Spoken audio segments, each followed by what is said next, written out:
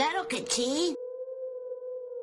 Una mujer llega a un nuevo trabajo en una escuela que parece muy desolada y vacía. Este es su primer día enseñando en esta escuela y le resulta difícil buscar la clase asignada, E4 pero con la ayuda de un estudiante finalmente la encuentra. Esta clase está formada por un grupo de estudiantes ruidosos y arrogantes. Sin embargo, ella ignora todo y comienza a enseñar, tal como lo ha hecho toda su vida. Y en cuestión de días, comienzan a acostumbrarse los estudiantes. Sin embargo, un día, cuando charla con otro profesor, se entera que la clase 4E que había estado enseñando no existe.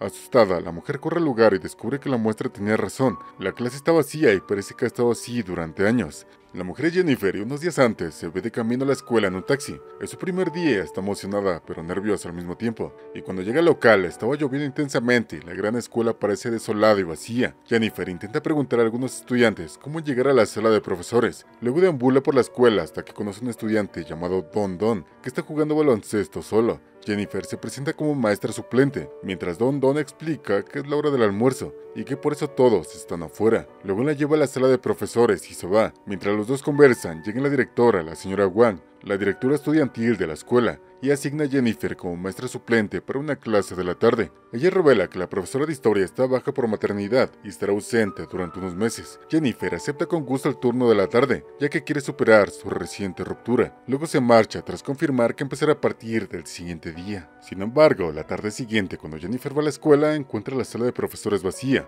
y en cambio encuentra una nota sobre la mesa de la señora Kong, que indica que ha sido asignada a la clase 4E. También ha mencionado que los alumnos de esa clase son bastante traviesos y la advierte que tenga cuidado. Sin embargo, Jennifer está tan motivada que no le importa aceptar ningún tipo de estudiante y pronto se aventura para buscar la clase 4E, pero extrañamente no está en ninguna parte. Lo raro es que todavía no hay alumnos en la escuela, a pesar de que no es hora del almuerzo. En ese momento se encuentra con la misma chica de antes, Don Don, y nuevamente pide ayuda. Don Don, que estudia en la misma clase, se lleva a la maestra nueva con ella, cuando llegan al 4E, Jennifer nota que la clase parece más un mercado de pescado que un salón de clases. Algunos estudiantes están peleando, algunos escriben en la pizarra y otros simplemente solamente dicen malas palabras. Ignorando todo esto, se presenta y comienza a hablar de la importancia de la historia, pero todos la ignoran. Simplemente están interesados en charlar y divertirse. Jennifer se da cuenta que la señora Kong tenía razón y decide cambiar un poco su estrategia de enseñanza para poder motivar a la clase. Ella promete traer películas sobre historia al día siguiente para que todos puedan aprender de manera divertida, pero aún así nadie, excepto Don Don, presta atención a una palabra de lo que dice.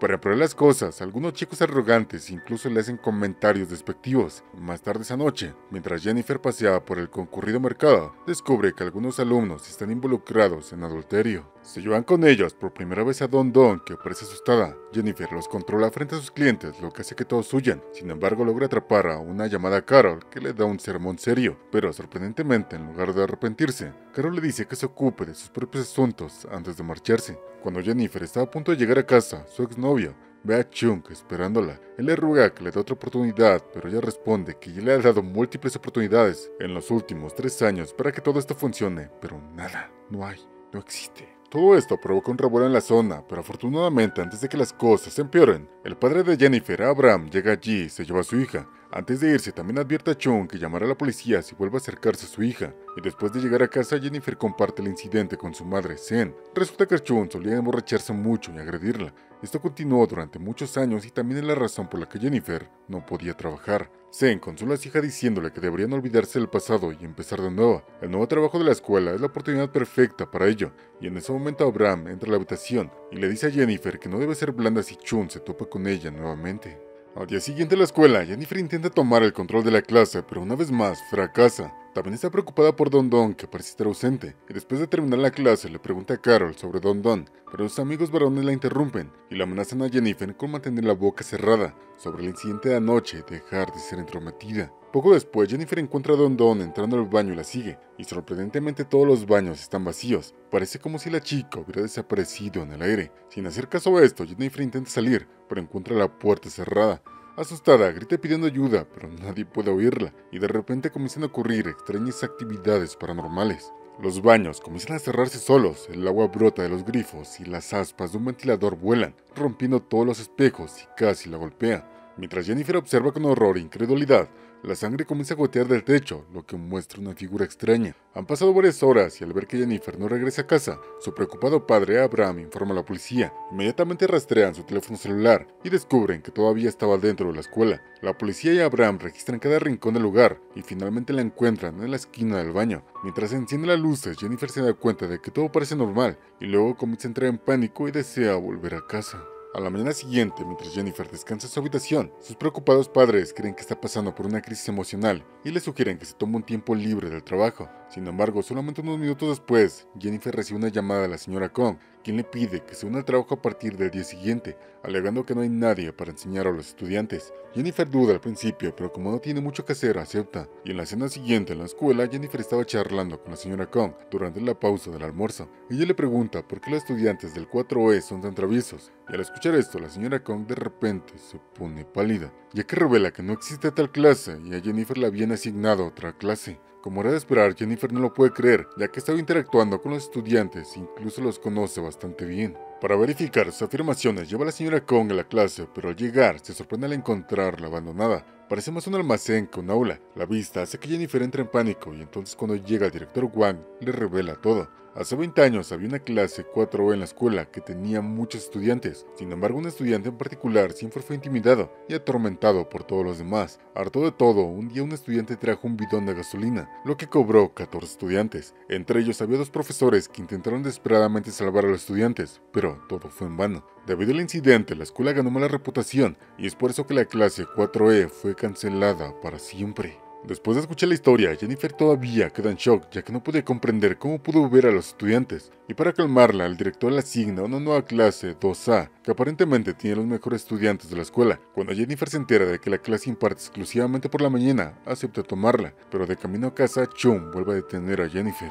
Él insiste otra vez que le da una oportunidad, pero una vez más ella lo ignora. De repente ve a Don Don con algunos muertones en la cara, pero antes de que pueda preguntar algo, la adolescente asustada le advierte que no regrese a la escuela una vez más. Luego cuando Jennifer llega a casa encuentra a sus padres, junto con algunos feligreses orando por ella, pero aún así al amanecer Jennifer ignora todas las advertencias y se dirige a la escuela. Cuando ingresa a la nueva clase 2A, se sorprende al ver a los mismos estudiantes de la clase supuestamente inexistente. Aterrorizada intenta huir, pero los chicos bloquean la puerta e insiste que le enseñe. Jennifer asume que todo es su imaginación y procede a escribir en la pizarra, pero de repente algunos estudiantes se convierten en fantasmas. Uno de ellos tiene su larga lengua partida, mientras otros vuelan y se acercan a ella. Pero tan pronto como Jennifer se da cuenta, todo el mundo vuelve a la normalidad. En ese momento Jennifer ve a Don Don indicándole que se vaya, por lo que abre la puerta y sale de la escuela lo más rápido que puede. Esa noche, antes de llegar a casa, se topa nuevamente con Don Don, quien le ruega que nunca regrese a la escuela. Cuando Jennifer pregunta por qué, la chica revela que los otros estudiantes están tratando de mandarla con San Pedro. Dicho esto, ella se va, pero unos pasos más adelante Jennifer encuentra a Chun nuevamente e intenta ignorarlo. Sin embargo, la detiene y le muestra una grabación de unos minutos antes, donde ella estaba hablando a la nada. Cuando Jennifer se asusta, Chun se preocupa por ella y la lleva a conocer un exorcista llamado el Maestro. Él le dice a Jennifer que la escuela está encantada y le da una daga mágica para usarla contra los espíritus que están desesperados. Pero luego, cuando Jennifer regresa a casa, descubre que sus padres han salido a pasar la noche y en ese momento recibe una llamada de teléfono fijo de uno de los estudiantes atormentados, quien se burla de ella diciéndole que no haya dónde huir. Jennifer entra en pánico y desconecta la llamada, pero pronto su teléfono móvil comienza a sonar. El espíritu del otro lado le dice que acepte lo que sea que se presente y de repente las luces empiezan a parpadear y su teléfono surgen ruidos extraños y criaturas. Presa del pánico, saca la daga mágica y apuñala su teléfono, provocando que todo se detenga. Una vez que amanece, Jennifer recibe una llamada de su madre, Zen, en el teléfono de su vecina, ya que el suyo estaba estropeado. Zen menciona que llegó a la escuela según las instrucciones de su hija, y ahora le acompañan dos estudiantes de clase del 4E. Una de ellas es Carol, quien toma el teléfono, y le pide a Jennifer que venga a salvar a su madre, o de lo contrario, ya sabe qué pasará. Sin perder el tiempo, Jennifer corre a la escuela y encuentra a los estudiantes en forma espiritual. Han colocado a Zen a la borde de la ventana, lista para poder empujarla, y en ese momento Carol le pregunta a Jennifer si quiere salvar a su madre, o a ella misma. pero Jennifer basada responde a ambas y saca la daga mágica, que emite una luz suficientemente fuerte para cegar temporalmente a todos los espíritus. Lamentablemente, uno de ellos empuja a Zen desde la ventana y termina con San Pedro. Cuando Jennifer ve el cuerpo de su madre en el suelo, se enfurece y comienza a apuñalar a todos los espíritus. Un estudiante que parece normal le ruega a Jennifer que no la mate, pero ella la apuñala de todos modos. Más tarde la policía llega al lugar y captura a Jennifer, que ahora parece una psicópata. Padres angustiados también llegan y revela que Zen está viva. Resulta que ella nunca fue a la escuela, Mientras Jennifer observa en estado de shock, el jefe de la policía explica que ha matado brutalmente a 14 estudiantes del Salón 4E y en ese momento llega al lugar un hombre que dice ser el director. Jennifer afirma que el hombre miente ya que la directora es la señora Wan. Ella la contrató hace una semana y le reveló el incidente que tuvo lugar hace 20 años. Al escuchar esto, el actual director de la escuela le cuenta a la policía sobre el incidente que ocurrió hace 20 años. La escuela tuvo que esconder las fotografías del incidente de hace 20 años. Luego mueve un armario y descubre las fotografías que muestran a los estudiantes de la clase embrujada y a los dos profesores. Se revela que los profesores no son más que el director Wang y la señora Kong. Además se revela que Jennifer mató a los estudiantes con un destornillador que pensó que era una daga mágica. El mismo desatornillador que su exnovio Chun usó para cometer lo impensable el día de ayer. Eso significa que ella nunca conoció al verdadero Chun, sino su espíritu. Y al escuchar todo esto, Jennifer se echa a reír como una loca, lo que la obliga a la policía a llevársela. Y cuando se siente en la camioneta de la policía, ve a Don afuera, botando su pelota de baloncesto, que en realidad es la cabeza de Chun. Así que espero te ha gustado muchísimo el resumen. Nos vemos. Bye.